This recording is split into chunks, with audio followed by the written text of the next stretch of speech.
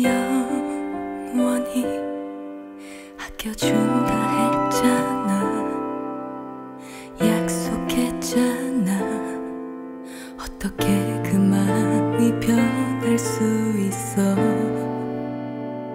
난 모르